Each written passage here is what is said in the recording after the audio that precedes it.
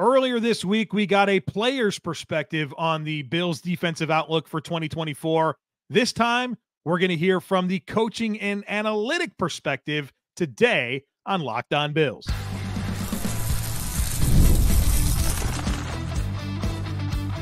You are Locked On Bills, your daily Buffalo Bills podcast. Part of the Locked On Podcast Network, your team every day. What's up, Bills Mafia? It's Joe Marino, author of Go Bills and Buffalo's Run, also the co host of the Locked On NFL Scouting Podcast. And I'm your host of Locked On Bills. Want to thank you for making Locked On Bills your first listen every day and a big welcome and shout out to our everydayers. You know who you are. Those of you who never miss a single episode, I appreciate y'all being here very, very much. I'd also like to invite you to subscribe or follow for free on YouTube or wherever you listen to podcasts. We're part of the Locked On Podcast Network, your team every day. Today's episode is brought to you by FanDuel. Now through September 22nd, all FanDuel customers can bet $5 and get a three week free trial of NFL Sunday ticket from YouTube and YouTube TV. Just visit fanduel.com slash locked on to get started. I'm joined now by Cody Alexander, who is one of my favorite football people to learn from. Those are the people I like to talk to, people that I learn from. And I always do that when I get a chance to speak with Cody or read his work. In fact, Cody was on last year when the Bills were getting ready to face the Miami Dolphins. He gave us a ton of insight on perhaps what the Bills should do in that game and wound up working out quite well for Buffalo. And uh, look, Cody's work on defensive scheme is unmatched. And I'm really excited to get his perspective on the Bills defense in 2024. In fact, he recently dropped his preview article of the Bills defense that is included in today's show notes that you can check out. Cody, thanks for being here. Thanks for having me on. Really appreciate it. And you've really kind of done some interesting things recently in the space, introducing havoc ratings. And that's a big part of the way that you're going about these previews for each team's defense. And so as we're about to get into some of your thoughts in the Bills defense, why don't you fill us in on what havoc ratings are?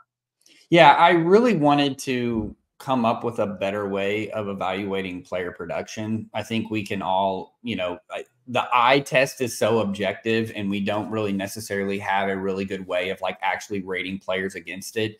So what we're doing at Field Vision, uh, which is a predictive analytics company, we're using play-by-play data to really look at what are actual plays worth? What are the things that are happening in those plays actually worth in terms of like some sort of a point value? And then being able to cut things play by play so that we can actually look at the true production of players. It's also scheme biased. So, if, for instance, if you're not running a lot of cover one, uh, then you're not going to be real high up on the list of cover one. And so, what ends up happening though is by formulating that and putting this all together, we can then actually look apples to apples across the NFL of like how teams are built. And not only that, but how players are producing. So, it gives us just a more intuitive way than just a generic, uh, you know, oh, this guy's a 90, you know, Madden rating, or uh, kind of like what PFF does with their with their rating system. This is more intuitive. It's actually off of like machine learning and AI, and built off of uh, what they're actually doing on the field. How satisfied are you with the conclusions that it's coming to, and how things have played out? Yeah, I think it, the way uh, that we we did this, um, I've been working with a guy Jackson, who he's the one that kind of built this built this system. I'm not a data guy; I'm more of a the bus driver. I'm making sure that the numbers are actually uh, correlating to what's happening on film, and I'm really excited about this because I think it's completely different. The deal with like like NFL Pro just came out uh, they can't do like the NFL is not going to do like anything predictive and they're not going to do player ratings or anything like that. So really the only thing that we have out there are these PFF grades. And so I wanted to create something that was a little bit more intuitive that's actually built off of the play-by-play data and what we're actually getting from these players in production. And I'm I'm really ecstatic about how it how it turned out. All right. So if anybody wants to learn more about this, again, in today's show notes, you'll be able to find a link to Cody's work where you can see a whole lot of information on this. And of course, the Bills defensive preview, which we're going to get into right now. And one of the things that you wrote in the article was you described the edge pairing of Greg Rousseau and AJ Epenesa as the new normal in Buffalo. And so I'm curious, let's start there. I'm, I'm a big, I love defensive ends. I love defensive line play. So I always got to start there. What's your outlook for those players in 2024? Yeah, I think that this is a good pairing. And I think it's a pairing that now that they're getting full time usage, they're not having to look over their shoulder and think, okay, you know, I'm getting subbed out right here. These are the guys that are going to be playing on a normal down basis. So I think their production is going to get up. You know, Rousseau is really good uh, in the pass rush along with uh, Epenesa. Now, the thing that Epenesa needs to work on is run stopping ability. That's kind of been where he's, he really needs to progress in that. But in terms of like a, a, a total package at edge, that's where really Rousseau so gets you. And I'm I'm excited to see his growth going forward with the Bills. Yeah, a couple of, of players that are young draft picks, and feels like their best football might still be ahead of them, even though AJ Epenesa just signed a second contract. Greg Rousseau entering his fourth season. I think there's a lot of ceiling for those guys to develop into. Now, the player in this edge mix that's really fascinating is Von Miller. And boy, it's tough to kind of figure out what to expect from him. Of course, when the Bills signed him for those the first 11 games before he got hurt with a torn ACL, I mean, he was everything they could have dreamed of. And then, of course, since then, it's been a, a tough road back from the ACL. Obviously, nowhere near what you would expect from Von Miller last year. And so you're hopeful that two years removed from the injury that you get a better version of Von, but he's also 35. So how are you calibrating expectations for Von Miller in 2024? I think he's going to be more of a package guy. He's going to come on third down. He's going to have one thing that he's going to do, and that's going to be rushing the quarterback. I think if you use him as an every down player, you're just increasing that, uh, you know, risk of uh, re-injuring or just the production is not going to be there with what you want. But I think if you keep him with, hey, kind of almost like like a pitch count. If you keep a pitch count with him, you package things where, hey, we're going to match you up in certain situations where we think we're going to get advantageous. Maybe we can manipulate a way to get you on a running back, or we like this matchup with you. Maybe even moving one. It, be, it really what it does is it unlocks you to move one of like Epenesa over so inside on a guard and letting kind of Von Miller sit on that outside edge and just go go get the quarterback. I think that to me is where you can gain a lot of production from him. Yeah, I think that's a, a good layer to the Bills' defensive end situation in general because between Rousseau, Epenesa, and Dawuane Smoot, who I think will be the four, any one of those guys you can reduce inside and then bring in Von Miller. And I think you put everybody in a good position to maximize their skill sets and get your best four rushers on the field. So I, I am I do think that's certainly got to be part of the plan with Von Miller is being selective with him to get the most out of what's left in the tank. Now, one player I'm I'm guessing did quite well with with the Havoc ratings is is Ed Oliver had that big breakout season uh, for the Bills last year after you know of course a top ten pick and waiting for the big splashy plays to really come. They came last year, so I'm curious like what do the ratings say, and is there more to unlock with him? And then just kind of some general thoughts on that pairing with him and Daquan Jones.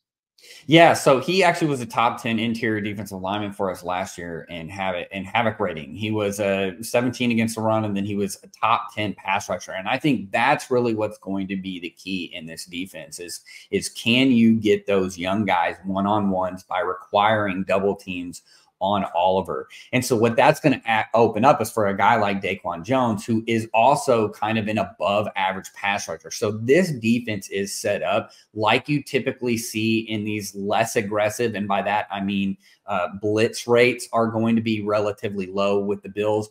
Uh, the Jets are built in a similar fashion. The the 49ers are built in a similar fashion of where we really want that defensive line. Cleveland's another great example of like we really want that defensive line getting after the quarterback, being pass rush and kind of holding gap integrity on top of that and letting our athletic linebackers really kind of run and hit. And this is this is with Ed Oliver and and if he can continue the production that he has, I mean, we're talking about a top 10 interior defensive lineman, which just just unlocks a lot of things for, especially when you have uh, edges that are kind of just coming into their own. Yeah, I think one of the underrated components of like defensive line play that I don't think gets enough credit is the collaboration of four guys working together. And it was interesting. I was I was listening to I think it was Chris Long, and Chris Long was asked a question. He said, "Would you rather play with another dynamic edge rusher or a really good inside pass rusher?" He said, "Give me the inside pass rusher all day long. The other edge is great, but that person next to you that can create issues as well, that's going to free up one-on-ones and and that's what that's what this is all about. Can you get one-on-one battles and can you win? And I feel like to your point there, Ed Oliver's kind of that piece that maybe draws a little bit of extra attention to make sure that the rest of the rush gets the one on one matchups that they'll, they'll be in position to win. Yeah, and really, what ends up happening is like, especially if you set um, Oliver at a three technique, you're going to get the slide that way. So the center's yeah. going to go that way just to ensure that they're going to do it to you know make sure that they have an extra hat over there, which is going to open up a one on one for your nose. So there's a guy like Daquan Jones who's already an above average pass rusher. Now he's gaining a one on one, and then it also just kind of gives you now another one on one away from that to the nose side. So you're really stealing a lot uh, it's a simple math game, right? Because we have four, they have five. If we can pull one of those away to create some sort of a double team, now we've kind of uh, amplified our rush and we've got one on ones in different areas. So yes, and and if you look at what happened in this off season, a lot of these guys inside got paid, and so I think we're seeing the NFL kind of market adjustment of saying, hey, we probably need to start paying these inside guys that are really dynamic and that are good against the run and the pass, not just guys that are kind of you know pluggers and holding on to those double teams. Yeah, the defensive tackle market experienced a, a, major boost. And and what's funny is that Oliver got paid, but he was on the low end of a lot of those new deals. And I think the Bills got one heck of a deal, assuming Oliver continues at, at the rate that we saw in 2023. This episode is sponsored by BetterHelp. When your schedule is packed with kids' activities, big work projects, and more, it's easy to let your priorities slip. Even when we know what makes us happy, it's hard to make time for it. But when you feel like you have no time for yourself, Non negotiables like therapy are more important than ever. If you're thinking of starting therapy, give BetterHelp a try. It's entirely online, designed to be convenient, flexible, and suited to your schedule. All you do is fill out a brief questionnaire. That'll get you matched with a licensed therapist. You can switch therapists at any time for no additional charge. Never skip therapy day with BetterHelp. Visit betterhelp.com slash locked on today to get 10% off your first month. That's betterhelp, H-E-L-P dot com slash locked on.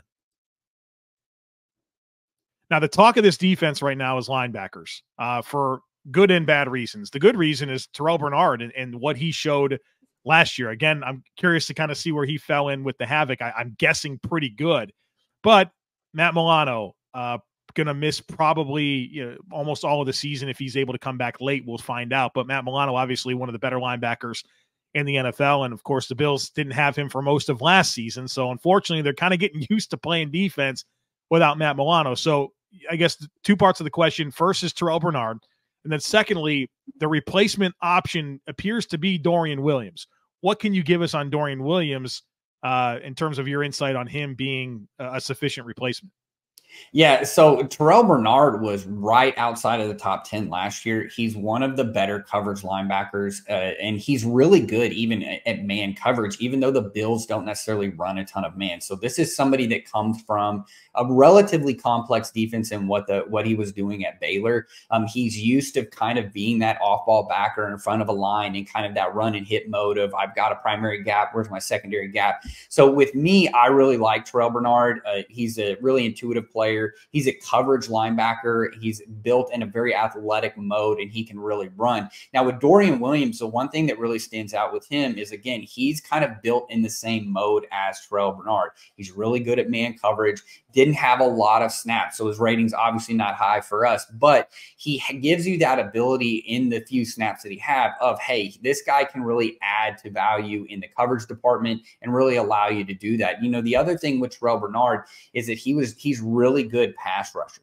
So in, in, in, a blitzer. So that gives you now, and what we're seeing too in the NFL is you're building tandems that one guy is more of your off ball guy that's really just going to stay off the ball. He's going to be stay at that second level, whether it be coverage or just fit, you know, just fitting off his gap. And then you have another guy where you really want them to be the pass rush specialist and, and their blitzer. And so that's where you have Bernard and Williams. And I will just say this one person that to keep an eye on is Nicholas Morrow. He was above average linebacker last year. He's somebody that doesn't necessarily add a lot of value in the coverage game, but he can add value in the run game. So maybe there you we see a little bit more of a 4 3. Um, I know that this has been a pure, almost kind of like what the Cowboys were, where they were just pure, we're only running nickel. We don't have a three linebacker set, but that's something to look forward to as more teams start using more 12 personnel.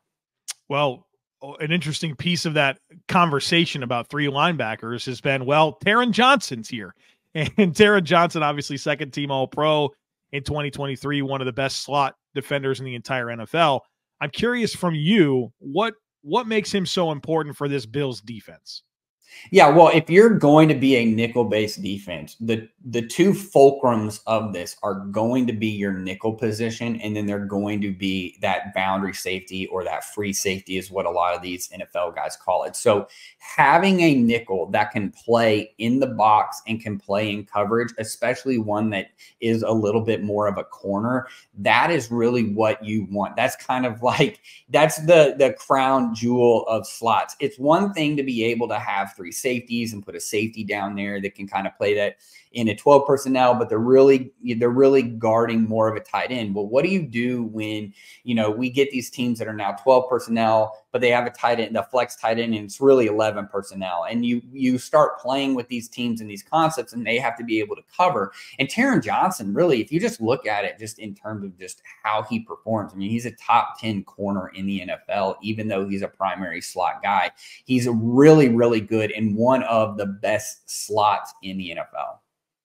So, one of the interesting dynamics about how the NFL is evolving is I think you're seeing more offenses use bigger people, right? More 12 personnel, 13. I mean, the Chiefs the Chiefs came out in 13 personnel during the playoffs, right? And that right. created some problems for a lot of teams. You're seeing more two back stuff. Eh, a lot of this is influenced by the, the Shanahan tree. For a Bills defense that is typically static with back seven personnel, how do you kind of thread this needle knowing that you don't want to take Taron Johnson off the field, right? That's not part of your plan. That's not going to get your best players on the field. Do the Bills need to get creative with how they combat some of these bigger personnel offenses? You know, one of the things that they could easily transition into, and that is becoming more popular with four down teams, is getting to these five man front reductions, meaning that they're going to shift one guy inside, they're going to walk a guy down. So, this is a situation where you could see maybe a guy like uh, Bernard, even though he's kind of a smaller body, but like walking down on the edge, you could even use a guy like Morrow or Dorian Williams, where, hey, we're just going to shift you down into a glorified nine technique, and then you really just got to hold the edge. And what that does is it gives you a five man front. So you're kind of gapping out that front and you're, you're combating kind of that nature of the 12 personnel look, but you're not having to work, you know, you're not having to take Taron Johnson out because that's kind of the key is you don't want to move them outside like we're seeing what the Chiefs do with McDuffie. They're kicking him outside. McCreary's another good slot that yeah. you see the Titans kick him outside uh, when they go into these base personnels. You know, Buffalo really doesn't want to run with a three linebacker core. They don't want to run from a 4 3. So, how do you get into that? You can get into what they're called penny looks. So, it's a five man front with a solo backer in the back. You know, the thing with Johnson is he is so good near the line of scrimmage. Uh, you know, he's almost like, and the really his only comparison is like a Brian Branch, who really is a safety. I mean, we're seeing this with the Lions; they're kicking him back in base. So for a corner playing run support, he's one of the top people that are doing it. He's not afraid to mix it up. And really, with a five man front, you can do a lot of different things to cover him up. And that's probably what they're doing is even if you get in 12 personnel, he's going to be mainly towards the strength and setting the front to him. That way, he's kind of gapped out, and you're not asking him to ever be in an A gap. That's fun. That's a that's an interesting idea. I'm gonna I'm gonna be paying attention to that throughout the course of the season and see if the Bills lean into some of those penny fronts. When you're hiring for your small business, you want to find quality professionals that are right for the role. That's why you have to check out LinkedIn Jobs. LinkedIn Jobs has the tools to help you find the right professionals for your team faster and for free. LinkedIn isn't just another job board. LinkedIn helps you hire professionals that you can't find anywhere else, even those who aren't actively searching for a new job, but might be open to the perfect role. In a given month, over 70% of LinkedIn users don't even visit other leading job sites. So if you're not looking on LinkedIn, you're looking in the wrong place. On LinkedIn, 86% of small businesses get a qualified candidate within 24 hours, and over 2.5 million small businesses use LinkedIn for hiring. So hire professionals like a professional on LinkedIn. Post your job for free at linkedin.com slash locked on NFL. That's linkedin.com slash locked on NFL to post your job for free. Terms and conditions apply. Now, one of the staples of the Bills defense, it's been really good under Sean McDermott, has been the safety tandem of Micah Hyde and Jordan Poyer. And those guys are no longer in the mix. Taylor Rapp, now kind of the guy at safety.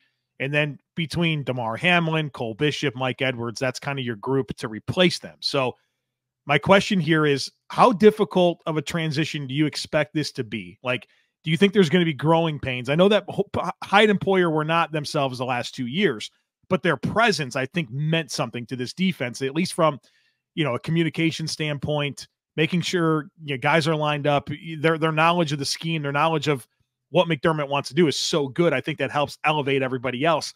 How big is this transition? I think it's going to be this is the one thing that kind of worries you about the Bills is this safety play. Um, I think corner and at the slot, I think you're pretty much set. I, I, think everybody feels really, really good about what they are. But that communication piece that comes from the safety, you've got three guys that are pretty much all stacked together ratings wise. They're they're kind of like you know out of 64 starting safeties, all of them are right there at that bottom, like right there at 58 through 60. Um, you know, nothing necessarily stands out in a coverage aspect. You know, I do think Rapp has had experience starting. He's probably the most seasoned one. Hamlin has really kind of been uh, more of a special teamer. Uh, Cole Bishop getting hurt as a rookie and then missing all of camp and doing those things. You know, you can sit in a room, you can kind of go through walkthroughs, but in terms of actual playing and getting on that, you know, they really they drafted him to be a starter probably next to Rapp, and now he's hurt. He's not been able to play. So I think that that's going to be a little bit of a lag. This is a group, though, that can kind of grow over the season. Uh, and maybe we look up at the end of the year and Cole Bishop is starting. Rapp is basically a serviceable, you know, serviceable starter. These are things that I think next year that are going to have to be adjusted. But right now, these are going to give you kind of a, a right around the average of what an NFL starting safety is going to look like. Now, you mentioned a lot of comfort in the Bills' corner situation, of course, which includes Taron Johnson, but the outside duo of Rasul Douglas and Christian Benford. Kind of curious to get your your takes on these guys, especially kind of a young guy in Christian Benford, who I think has got a chance to be really good in this league. Yeah, the thing is, is they they've really got some of the best zone corners uh, in the NFL, and I think with Rasul Douglas, you're talking about one of the, if not the best. I, Charvarius Ward is a little bit ahead yeah. of him, but he, we're talking like one A and one B in terms of zone corners. The Bills don't really want to run man at a high volume.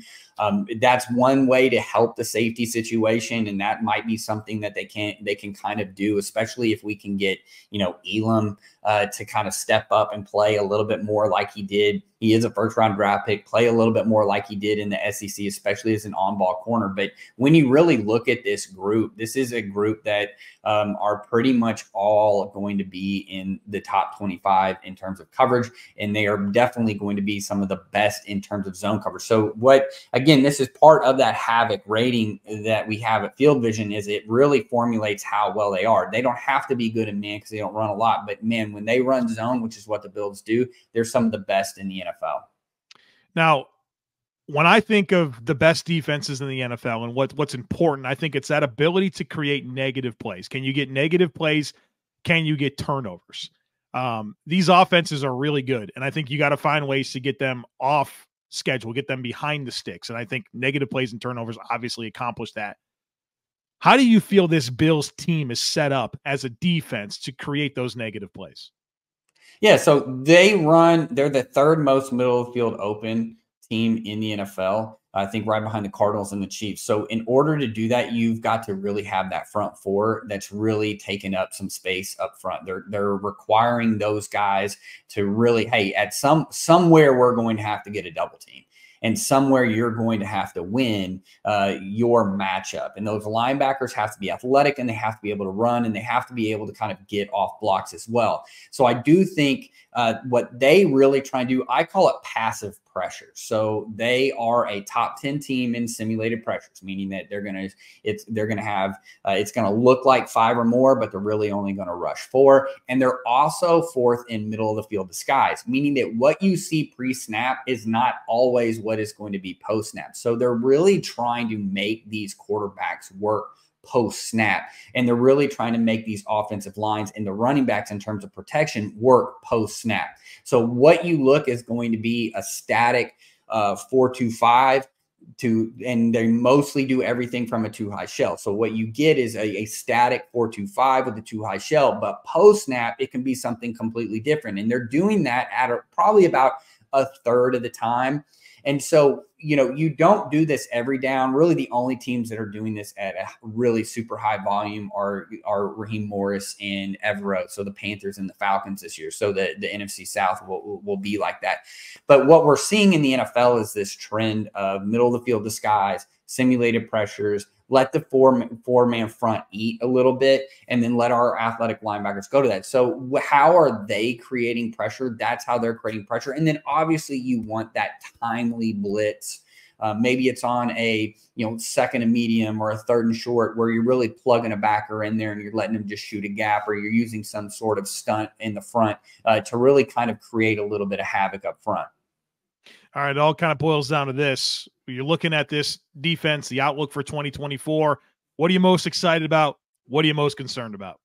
I'm most excited about the corner room. I really do. I think that they have one of the better pairings. I, you know, I just put pause on the best pairing in the NFCs just because the I, I'm a big fan of DJ Reed and obviously Sauce Gardner's that. But this is a, this is one of the better cornerback duos in the NFL. You add Taron Johnson into that, and it just completely changes the picture. This is a, you know, when you're looking at it in a group of three, this is one of the best in the NFL, and they're going to give teams a lot of problems. My concern off of that, obviously, in the back end is going to be that safety play, and can you actually get production out of, uh, you know, any of those three. And it builds on top of the overall way that this defense, this defensive roster has been built, is that there's just not a lot of depth. And in that depth are a lot of question marks, whether it's can Von Miller uh, produce on third down when all he has to do is do that. Uh, what about, you know, what happens if we have another injury at safety and now we're relying on somebody that was really a reserve or a practice team or a special teamer now has to be kind of thrust into a starting role. So those are the one thing, those are kind of the couple things that I'm concerned about. But in terms of a defense, this really looks like a defense that if it can produce and if everybody can stay healthy, that this is a team that can push for maybe a top 10 defense in the NFL. Well, that's kind of where they've been under Coach McDermott, and we'll see if that continues once again in 2024. Cody, thank you so much for giving us some of your time. Before we let you get out of here, plug the work. I know that I said that there's a link in today's show notes, but you got a lot going on. You've written books on defensive scheme. What where can people find all this stuff? Yeah, the best place to find everything that I do is matchquarters.com. Um, if you're interested in these havoc rates, we also have threat rates for offense. I would go to fieldvisionsports.com and go ahead and sign up. We're going to have an app that's going to drop, that's going to have all of this information in it, and it's going to drop uh, on week one. So we're really excited about that. So matchquarters.com is probably the best place to find everything that I have. I have links to everything. And I'll make sure that matchquarters.com is in today's show notes. Cody, thanks for being here. Really appreciate it. Really appreciate it. Thank you.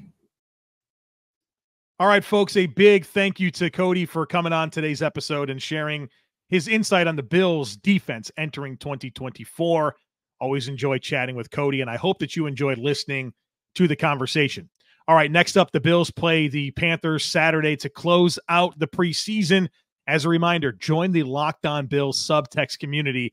That way, you will get my in game text. After every drive, I send out a synopsis of my thoughts, uh, things that I'm seeing in real time. So be part of that. And then, of course, that'll get you access to all of that throughout the course of the season. You get one on one text messaging with me. I also send out my first reaction to all major Bills news through the subtext. You also get access to our Discord channel where we've got hundreds, I think over 800 Bills fans in there talking Bills, Sabres, what we're grilling this weekend, all kinds of cool stuff. So make sure you join the Locked On Bills subtext community and uh, let's continue the conversation there. There's a link in today's show notes for you to join. All right, folks, that's it for today. Our next conversation comes after Bills Panthers. So make sure you don't miss it. Make sure that you are subscribed. Would love it if you took a second to rate, review, and share the podcast. Have a great rest of your day. Go Bills. And I look forward to catching up with you again real soon.